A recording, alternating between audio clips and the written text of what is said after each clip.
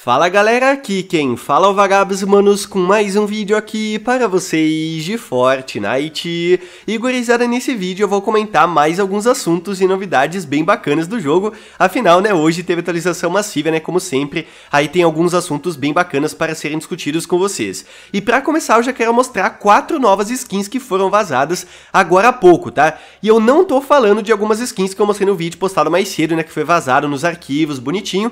E sim de quatro novas novas skins que estavam criptografadas pela Epic, mas agora há pouco né, os leakers deram um jeito e vazaram pra gente mesmo assim. Uma delas é a skin do Will Smith, isso mesmo, o Will Smith vai chegar no Fortnite. Só que um detalhe, como essas skins né, estão sendo mais protegidas pela Epic, elas foram vazadas somente no lobby, tá? A gente não sabe o nome, nem a data de lançamento, nem muito menos a raridade. O nome, né, não importa muito, mas a raridade é importante, né, porque a gente sabe, né, quantos V-Bucks vai custar na loja. Então, tanto o Will Smith, né, como as outras três skins que eu já vou mostrar pra vocês. A gente não sabe, né, se vai ser lançado, tipo, por V-Bucks, quantos V-Bucks vai custar, se vai ser um pacote, mas enfim, elas foram vazadas já dentro do lobby e já dá pra ver, então, né, a aparência aí das skins. E o Will Smith eu achei, manos, muito legal, sinceramente, ficou muito fiel, né, ao próprio ator, e eu não sei vocês, mas eu gosto muito dele, né, tanto dos filmes que ele faz, a maior parte dos filmes, pelo menos, eu curto muito, o ator também eu acho muito da hora, tá ligado? Eu não sei se essa skin específica, né, tem relação com algum filme dele que vai estrear no cinema, se tem eu não tô ligado,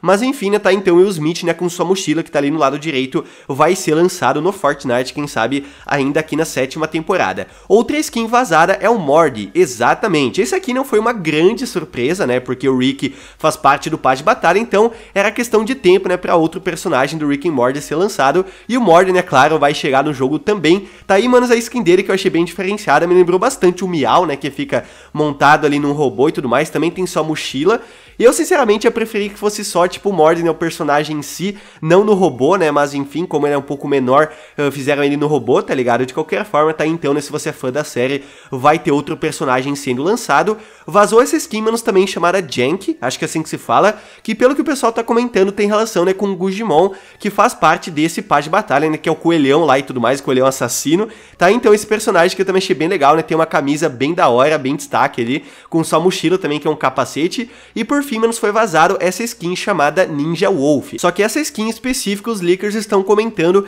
que vai ser lançada no próximo clube, tá? No próxima mensalidade, no caso. Então fique esperto, né? Claro que não é 100% confirmado, mas quem sabe, né? Se você é assinante aí recorrente do clube, essa aí, manos, pode ser a próxima skin da mensalidade, beleza? Então tá aí, manos, quatro skins, né? Que foram vazadas agora há pouco. O que a galera, né, mais hypou com certeza foi o Mord, né? E também o Will Smith. Tipo, o Will Smith foi muito aleatório, tá ligado? Eu não imaginava que o Will Smith simplesmente do nada ia chegar no Fortnite, né? Pelo jeito vai acontecer. E como elas foram vazadas agora, o meu palpite é que todas as quatro skins vão ser lançadas ainda aqui na sétima temporada. O Mord é quase certo, né? Porque o Rick faz parte desse passe de batalha. Então fiquem espertos, né? Assim que tiver mais informações, né? Sobre o preço das skins, data de lançamento e tudo mais, é claro que eu vou estar tá compartilhando com vocês aqui no canal, ok? E manos, como todo mundo sabe, né? Hoje lançou o modo Impostores, né? O famoso modo aí do Among Us. E esse modo, para quem não sabe, você consegue muita experiência. O pessoal, né, tá conseguindo cerca de 20 mil de XP toda a partida. Então, se você jogar uma hora seguido, por exemplo, desse modo, você consegue, menos praticamente 100 mil de XP em uma hora, o que é muita coisa, tá ligado? E se você gosta do modo, né, claro, vale muito a pena, porque além de você se divertir nesse tempo, você upa sua conta bem rápido.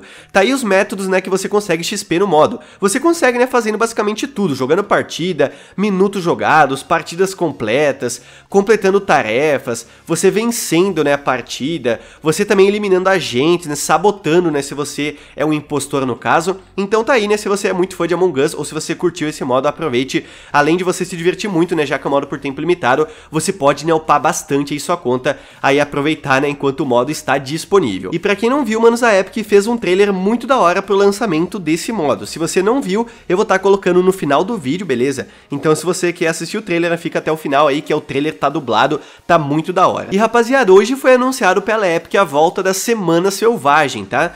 E vai começar então né, pela semana furtiva. Olhem só, a invasão está chegando à conclusão climática, com novas táticas sendo empregadas toda semana para virar o jogo. A partir dessa quinta-feira, todas as pistolas e rifles de assalto a partir do nível épico e todos os rifles de precisão de ferrolho serão substituídos por suas variantes furtivas, pistolas com supressor, rifle de assalto com supressor e rifle de precisão com supressor. Para evitar serem vistos ou ouvidos, como contramedida, os alienígenas vão adotar mais disfarçadores em toda a ilha. E para acompanhar a tendência, mais vendedores vão oferecer serviço de disfarce de objetos.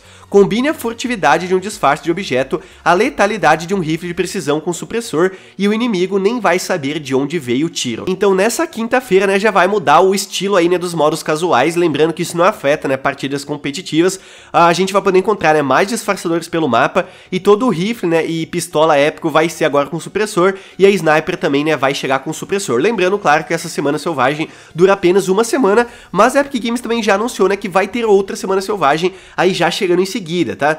Olhem só, pelo comportamento dos alienígenas e da OI, parece que isso só está começando. Até o fim da invasão, toda quinta-feira, uma nova semana selvagem terá início, trazendo uma tarefa lendária em etapas que vai fazer você repensar suas estratégias. Então essa quinta-feira né, vai durar até a próxima quinta, e depois já começa outra semana selvagem, e assim por diante até o final da temporada vai estar tá cheio de semana selvagem, né, com vários temas diferentes, lembrando mais uma vez que o primeiro tema vai ser aí da furtividade, beleza? E pro pessoal que gosta de saber das tarefas antecipadamente, amanhã né, vai ser liberadas as tarefas lendárias da semana 11, que vão ser as seguintes. Uma delas para você ir até um orelhão para receber ordens da Sloane, né, de novo, pescar peixes em locais de pesca, 5 no total, coletar uma lata antiga de comida de gato na toca do gato ou no penhasco praiano, coletar um vaso de flores no Lago da Preguiça, coletar 250 de madeira e para você falar com o Joey. Aparentemente, né, tarefas bem simples, mas lembrando, né, que amanhã, se você tiver alguma dificuldade em fazer, eu vou trazer, né, vídeos dando dicas, né, para resolver as tarefas mais complicadas. Essas aí, né, de você coletar lata antiga, coletar vaso, né, geralmente o pessoal tem mais dificuldade em encontrar, é claro, eu vou estar tá trazendo vídeos, né, dando dicas para vocês completarem o mais rápido possível, então dá uma passada aqui amanhã se você tiver dificuldade em fazer algumas das tarefas, ok? Mas então é isso, manos, espero que vocês tenham gostado aqui do vídeo, deixe nos comentários a sua opinião sobre os assuntos que eu falei aqui, o que você acha então, né, da volta da Semana Selvagem, né, trazendo um tema diferente aí, né, nos modos casuais, e também, né, o que você achou aí do modo impostor, se você curtiu, né, aproveita o modo, joga bastante, afinal, né, é um modo bem diferente lançado agora, né, no mapa também do modo tem muitos easter eggs, que eu já postei um vídeo mais cedo, né, mostrando todos os detalhes aí do mapa, também muito interessante, e além disso tudo, né, claro, você consegue muito XP pra upar bastante seu nível até o final aqui da sétima temporada. E não esqueça também de mandar o vídeo, né, pros seus amigos, pra todo mundo ficar ligado em mais assuntos e novidades bem interessantes, e também, né, saber quatro skins que vão ser lançadas até o final aí da temporada, o Will Smith vai chegar, o Mord também, enfim, né, vazamentos bem da horas aí. Então é isso, manos, aquele abraço, se vemos no próximo vídeo, valeu, falou, e eu fui! Tomamos conta de tudo há milhares de anos. Nós, a Ordem Imaginária, enfrentando crise após crise, sem uma única falha. Mas desde que Jones nos traiu, tudo ficou claro. Ele não estava trabalhando sozinho.